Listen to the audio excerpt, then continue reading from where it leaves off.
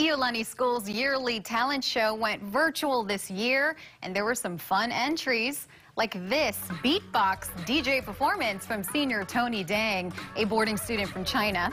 Dang recorded himself making a series of sounds with his voice. He then called them up at different times for the performance. 21.